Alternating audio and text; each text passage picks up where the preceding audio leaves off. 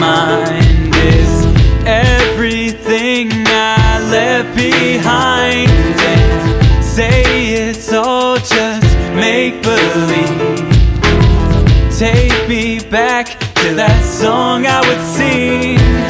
Been a lifetime of laughing. Remember back when the past was absent? For that, I'm still grasping. And I would cling to the moments I knew before they vanished into the blue, never to be seen again. Should've knew that I was destined to lose friends. It's a new world soon as high school ends. Gotta increase the speed from slower to faster. Mentally running on a treadmill backwards, staring blindly into the future. Uh-huh. The transition's gonna take a while to get used to. For now, my car's parked at the middle of the crossroads. Ahead are some potholes, behind me's a lot. So I give thanks for the moments I treasure, then swim out into a sea of unpredictable weather. And if only the first could ever match the latter, I'd be happier. Instead, my head's scattered. These days, all that's on my mind is everything I left behind. And say it's all just make believe. Take me back to that song I would sing.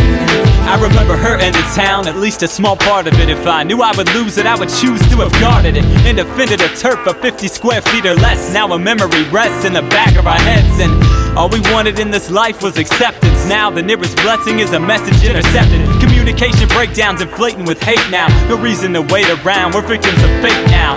Whether it's loss or loss or proximity, I never knew circumstance to be my worst enemy. And maybe one day it'll be like before, taking an Interstate 40 exit in five minutes more. Still catching our reflection in the glass and laughing when it asks if I take pride in the past. I'm a ragged and tattered flag at half mast. Silent weaponry's got the best of me at last. These days, all that's on my mind is everything I left behind. Say it's all just make believe. Take me back to that song I would sing.